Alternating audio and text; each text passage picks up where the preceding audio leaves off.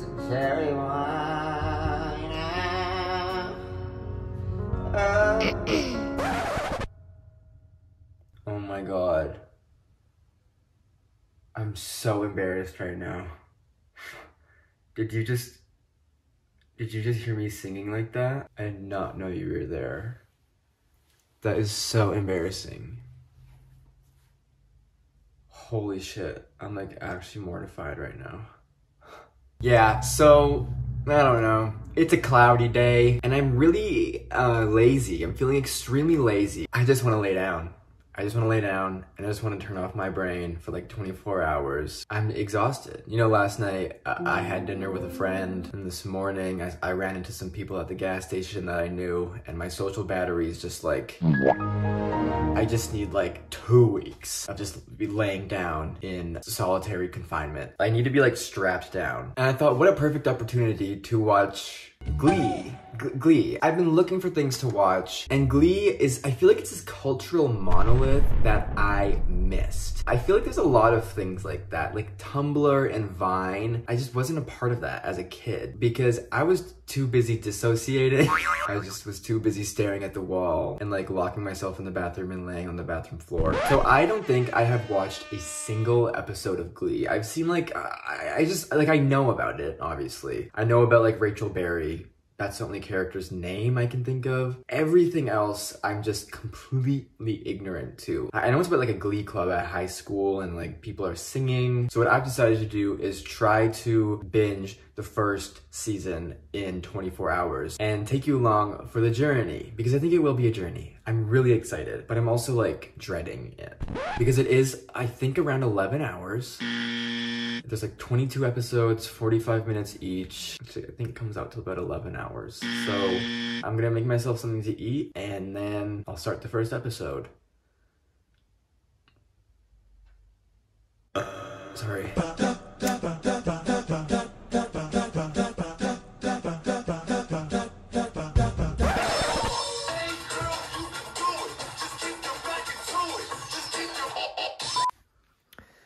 All right, so I just finished the first episode, and all I can think about is um the bullet that I dodged. this came out in 2009, meaning that I was like seven or eight, and I just know that if I watched that as seven or eight, my like entire life would be different. Like I was already a mess. I would have been the mess. They would have made Oppenheimer about me.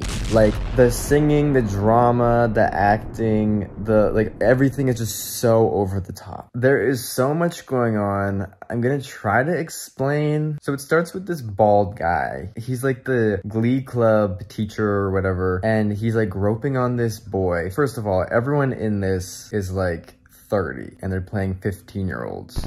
So he's singing the song with this boy who's supposed to be 15, is probably about 45, and he's like groping on him and Rachel Berry, we all know Rachel Berry, Lea Michele, sees this, reports it to the principal, not because she was like looking out for other students. She reports it because he did not give her the lead that she wanted, gets him fired, and then Mr. Schuester takes over. He's the Spanish teacher. But I guess like the Glee Club was like disband, like just completely disbanded, it feels like. I'm not sure. I don't know what happened to that boy who the bald guy was like touching I don't know why he didn't continue. He was singing pretty good. Um, I don't know where the hell he went. So Mr. Schuester takes over and five people sign up for his new glee club. It's called New Directions. It's Rachel Berry, obviously. Her, I don't remember her name, but she's incredible. Him, I don't know his name, but he's great. I want to say Kyle, but I know that's not his name. The super gay one. And her. And they're the new glee club, but they're just like not great, I guess. So what the advice that Mr. Schuester's given is like get some popular kids because once pop like if the popular kids are doing it, then other people will follow. He's like, okay, that's genius. That's what I'll do. That's exactly what I'll do. But obviously the popular kids It's like stereotypical high school in the way there's cliques. I like I don't I attended high school, but I was not there. I was like somewhere else. But like with this, there's like cliques and cool group, nerds, dorks and dweebs, football players, cheerleaders, you know. And Mr. Schuester discovers that this boy, the he's the quarterback on the football team, Finn, he can sing. So what he does is he plants weed, which he got from the previous Glee Club captain guy teacher who got fired. What his new job is, is telling his doctor that he can't sleep, so he just gets tons of medical marijuana, and he just is a drug dealer. So he he's given weed by this guy. Mr. Schuester plants it in the locker of Finn, confronts him, and says, hey, either you join Glee Club or you are going to jail, literally. So obviously Finn is like, okay, I guess I'll join Glee Club. And then also Mr. Schuester is married, but he's married to, um, the marriage is not great. They are experiencing some marital issues. They've been together since high school. And naturally what Mr. Schuester and his wife think is, okay, we're having marital issues. We don't really like each other. You know what? We'll fix this a baby. So she gets pregnant. He decides being a teacher doesn't pay enough to support a family. I'm gonna go become an accountant. He quits, he resigns. Rachel Berry's a freak. Rachel Berry is incredible. She's an incredible fucking character. And Lea Michele does such an incredible job of playing her. It's crazy. But then I think she's the career advisor. She's got some incredible outfits. I think her name's Emily. She's got a major crush on Mr. Schuester for some reason. And she basically talks him into continuing being a teacher and being the head of the glee club. And that's not even like each character there's just seems to be so much going on. Yeah. I don't know. I'm gonna just continue watching. I'm just so grateful that it, it passed by me as a child. I do think it would have influenced me in a very difficult direction. I also didn't understand this in the first episode, but I just saw at the very top of the second episode that her, Sue, just, let me get a better, there she is. Love her. She just said that the principal in the first episode did say that if they don't place at nationals, he's cutting the program. Even though he said that it only cost $60, I think a month, and Mr. Schuester is paying for that. I don't know what that means. I don't know what the $60 is about. It's just like a program that can't they just like do it? I don't know. So there is something that they're working towards. They have a goal.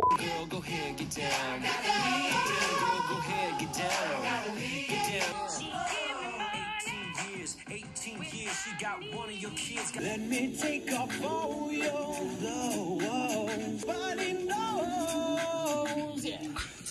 This is supposed to be a 16 year old boy. I'll often yell at homeless people. Hey, how's that homelessness working out for you?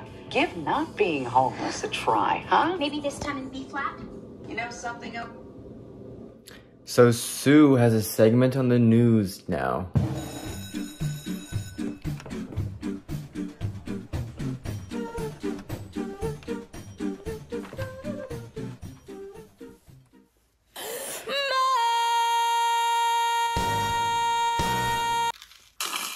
It's the next day. I think I said that I wanted to watch Glee in one day, 24 hours. I don't know why I thought this. I've been like, I gotta go back to school for real because my math is awful. I said that it's 45 minute episodes, 22 episodes, that's 11 hours.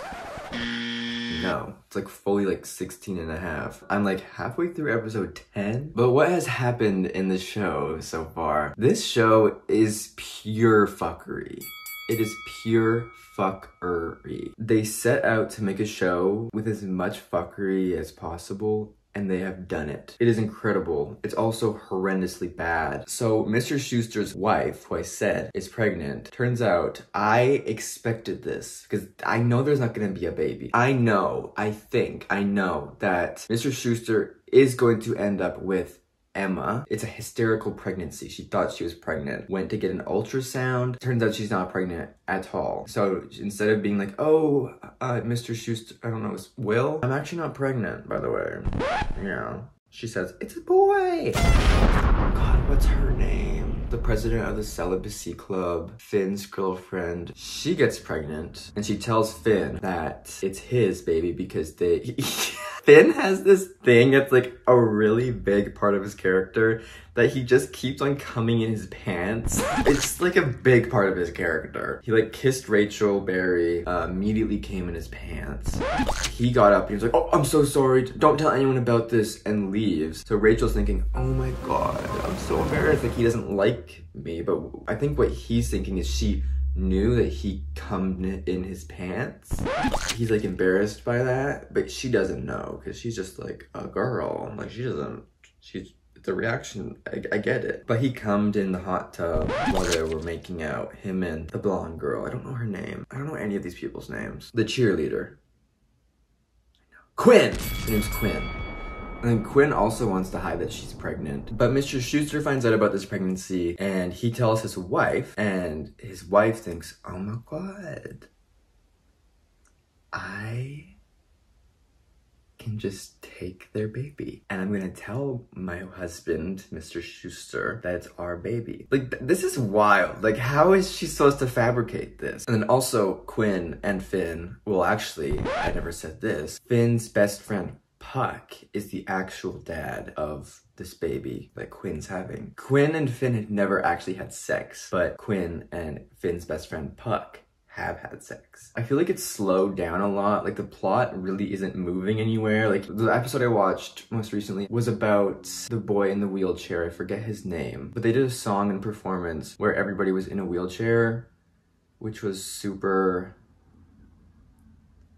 I don't know. And the song they chose was, uh, God. The song they did was the Tina Turner one, Ro Rolling, Rolling on the River.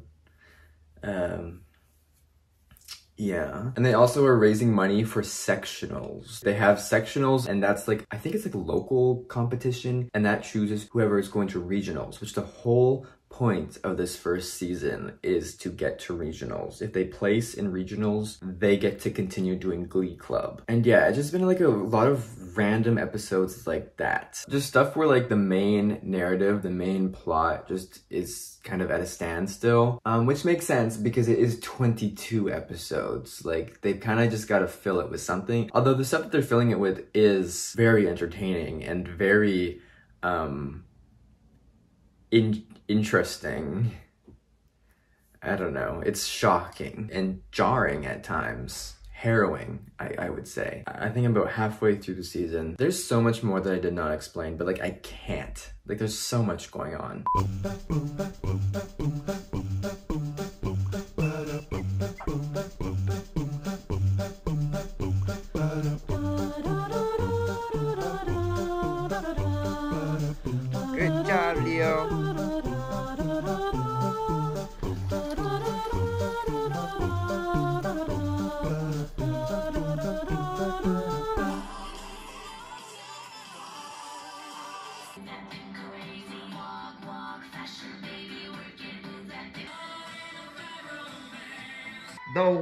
Talented Adim Dazel.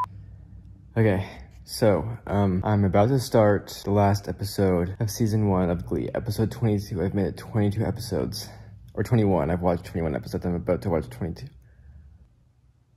I'm feeling so grateful or something. It just hit me how big of a moment this is. I want to do something special to go into this with battle armor on. So I'm going to change my outfit and we're going to watch the last episode of season one of Glee. Now what's happening is just a lot, but also at the same time, absolutely nothing. I feel like the past couple episodes have just been them doing like side quests, just kind of like waiting for this moment. Regionals, I don't even know what that is. I was never in anything that had to do like competitions, at least not to this caliber, because I'm a fucking loser. um, Sue just went to nationals for cheer and won. So Glee has this extra pressure to, I guess, like meet Sue at this level because Sue's been going at them this entire time, trying to get them to die. she wants them to die. There's one episode where she tried to get the principal to send them all to New York with $35 because of Madonna, but it was just her way of getting rid of them. I think they just need a place in like the top three in regionals. I'm pretty sure. I don't think they need to win regionals, but they've been talking like they need to win regionals. Vocal Adrenaline is from this different school who has won regionals like the past couple of years. Idina Menzel is the coach for them, but we also found out that Idina Menzel is also Rachel Berry's biological mother. I doubt they're gonna win. I don't think they're gonna win. I think it's gonna be one of those things, and they're going to be able to continue doing the, the Glee, which is so important. It is, I think. I think that these people have like really found quite the refuge with this thing and with each other, and it's very special. so I'm gonna slip into something a bit more appropriate for this occasion and see how this all ends. Oh, also, Quinn is going to have her baby.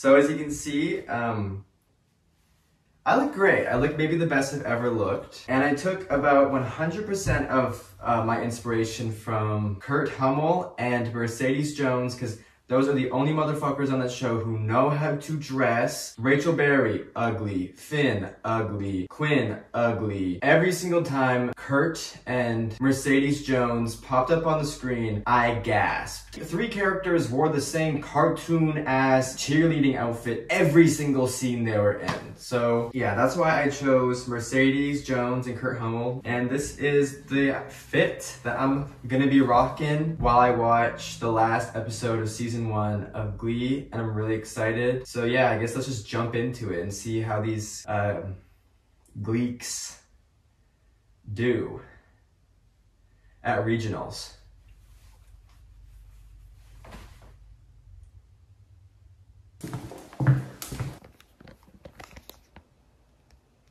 I don't know how this remote works. Finn's parents found out she's pregnant, so they kicked her out. I needed my Rachel was right. The 2010 Midwest Regional Runners-Up from Fort Wayne, Indiana, the not at all stupidly named Aural Intensity. Ah! Who? And now, your 2010 Midwest Regional Show Choir champion.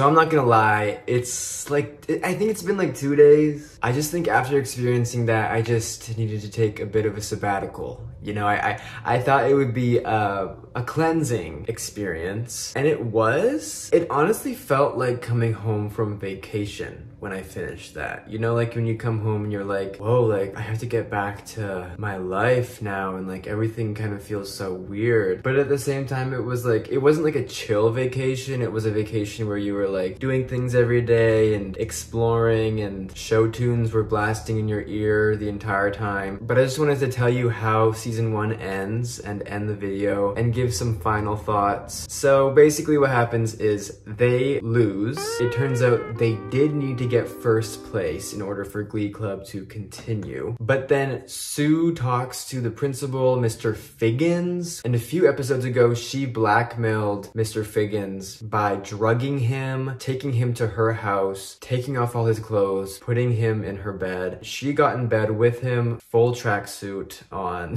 and waited for him to wake up. And then when he did wake up, she took a few photos of them in bed together, and she basically tricked him into thinking that they had had sex. So So she goes to Mr. Figgins and says, "Oh, by the way, you need to give Glee one more year."